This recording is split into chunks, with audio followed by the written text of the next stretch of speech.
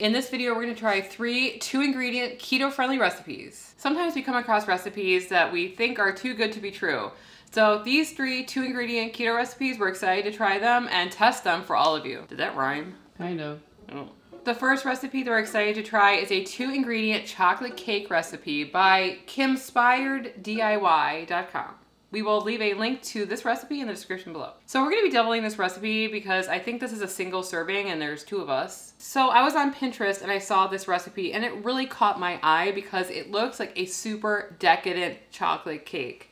It almost looks like a pudding. It looks super moist. I know you're not supposed to say that word, but if you guys have another word to describe it, uh, let us know in the comment section below. We need more vocabulary, obviously. And it looks relatively simple, so we're excited to test this one out first. You're gonna need two ingredients, which are eggs and keto-friendly chocolate chips. So the first step is to separate your egg whites from your egg yolks, which is easier said than done.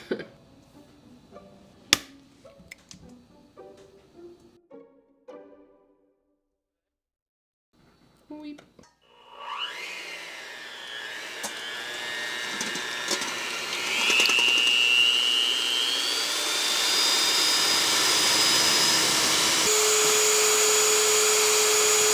Okay, so I whipped my eggs uh, until they formed soft peaks. It only took about a minute. And now I'm gonna melt our Lily's chocolate chips. This is four ounces of Lily's chocolate chips. I'm gonna melt it in like 60 second intervals because it can burn if you leave it in there for too long.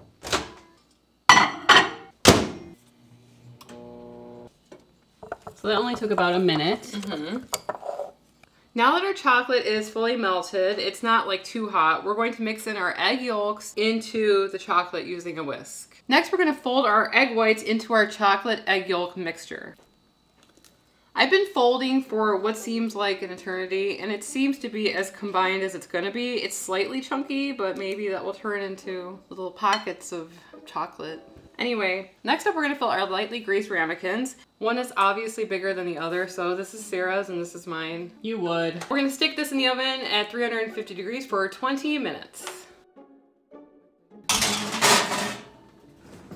And while that's cooking, we're gonna talk about the sponsor of this video, LMNT.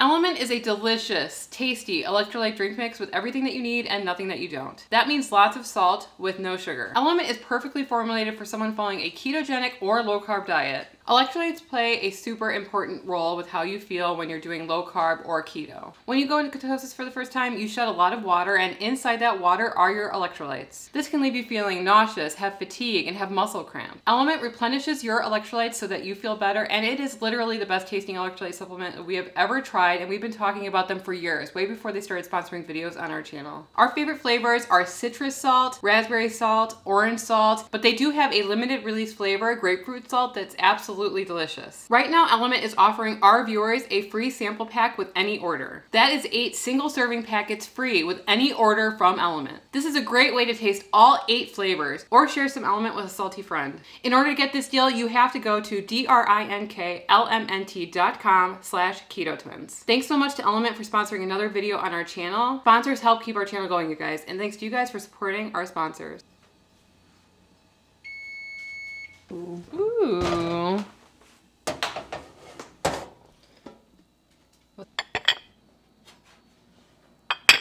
So here's our two ingredient keto chocolate cake. It's completely cooled down now. We're gonna give it a try.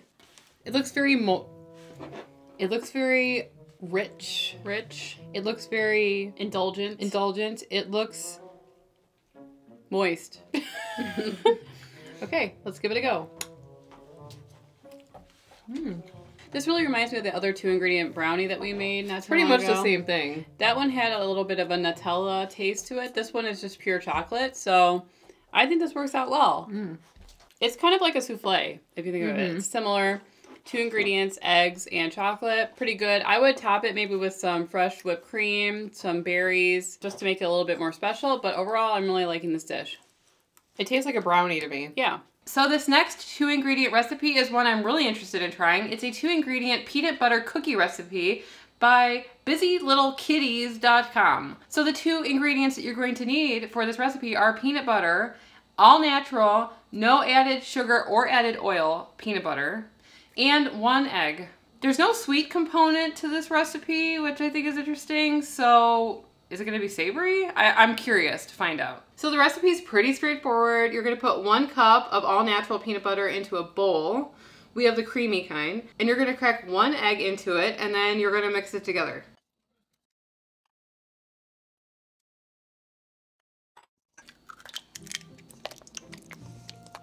Mmm. Yummy. Hmm. Hmm. It doesn't look thick to me. Is this right? Help! I mean, what are you gonna do? You have to distribute it more. It's starting to thicken up. Just keep going. There. I'm having deja vu to when I broke your spatula. I mean, it's solid. Oh my Lanta. Don't break my whisk.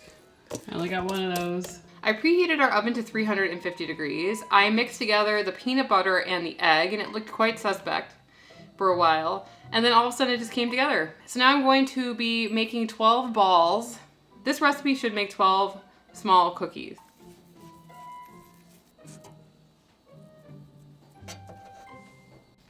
Emily, this does not look like 12. Mind your own business. We started off small, and then we got bigger and bigger. Um, the story of my life. and so we have nine. So basically we're about 25% off. Next up, we're going to um, smash these cookies down. Use the back of a fork to press down on each cookie to form a cross on top, okay? Here we go. This is the artistic part. Hmm.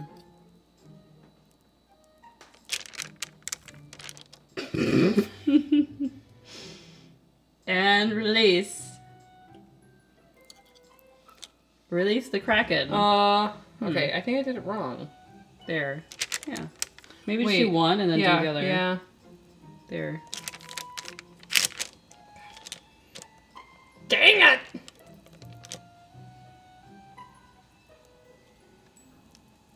I lift up and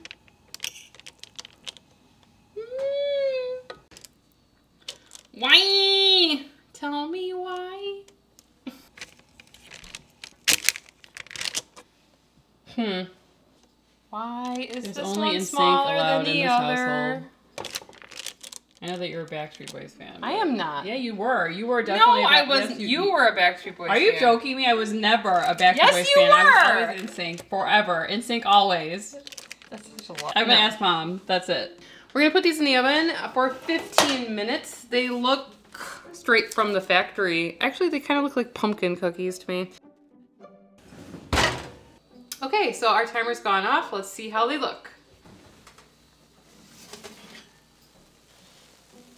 So it did say in the instructions that these are very fragile when you take them out of the oven, so they have to cool down completely before we try them. Here they are. I like your artistry Thank on you. the top. So as you'll see here, there's six cookies here. Um, the recipe called for 12. Sarah broke some in transit. They did. Yeah. Um, the creator of this recipe did say that they are very fragile. However, we did not anticipate how fragile they were. And so these are the survivors. and I'm excited to try one. They look really good. they are very delicate, so be careful of that. Maybe if we left them longer to dry so. out, it would be even better. But this one's about to up. It collapsed. I think you really do need to leave them a little bit longer so that they like solidify. We gave them, you know, 30 minutes to rest, but it's probably not long enough. So Would work great as cookie crumbles on uh, your favorite keto friendly ice cream. I wonder if you could use this as a crust. It can't even hold itself together now. You think you're going to turn this into a crust? Maybe. I like it. It's really crumbly, which is a texture you don't find that often on keto, I would say. hmm It's got no sweetness in it, but I'm almost appreciating it for just being the peanut butter. hmm I like it. Maybe I'm not picky. I don't know. How often do I hate things? Um, yeah, we're not picky. There's only one food I hate, artichokes. And even then I'll eat it, but I won't like it. You know what I mean? I just had one bad artichoke dip and it was enough to ruin it for 20 me. years ago. Yeah, it was 20 years ago, but it still remember. I still remember it. Very crumbly, like that. See that? Okay, so that would be the only negative of this recipe is that they are too crumbly, but uh, maybe if you left them in the refrigerator or let them to dry out for like for hours, it we might have better results. So I would definitely recommend that. Next up, we have another two ingredient recipe that is perfect for breakfast. So the next two ingredient recipe are for keto friendly pancakes, and we've seen a bunch of people actually try this recipe before, so we're excited to give it a try. We're gonna go with the recipe by Bare Feet in the Kitchen. We will leave a link to this recipe in the description below. It's very simple. All you're gonna need is cream cheese and eggs. So these pancakes look pretty legit. They kind of remind me of like a Swedish pancake. I'm not sure if you've ever had one of those before, but they're a little on the thinner side than your normal fluffy pancake. All right, so let's get started. So what you're gonna need is four ounces of cream cheese and four eggs. You could also add additional ingredients that would make it not two ingredients like vanilla or cinnamon. We're just gonna keep it at the standard recipe of those two ingredients. Okay. So here we have our eggs and our cream cheese. Pretty much you're gonna go like every ounce of cream cheese, you're gonna add an egg for it. Now we're just going to simply blend this and uh, see how it turns out. So that was done really quickly. We only blended it for about 30 or 40 seconds. And now we're gonna leave it to rest because we want the air bubbles to come out and uh, for the batter to settle a little bit before we get on to cooking them. So here we have our batter that's been resting for about five minutes. We have a pan that's currently heating up and we're going to be adding in a little bit of butter to act as our butter That's pan. three ingredients. It is three ingredients, but the actual batter is two. So there you go. Shamira butter. So we're gonna aim for a three inch diameter or radius or not circumference. I think diameter. Right. Three inches in diameter. Our math teachers are rolling around in their graves. Hmm. I don't know if you can get diameter on a shape like that. It's a dinosaur. It's oblong. There.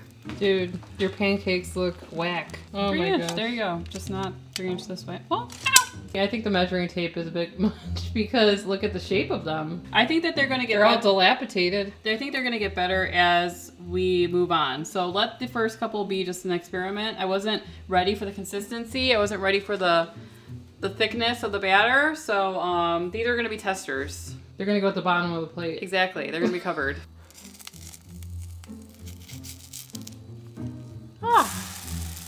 Looks like a pancake. Look at that.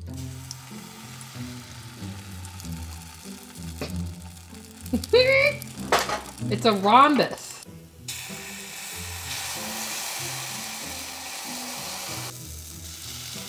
Okay. Amazing.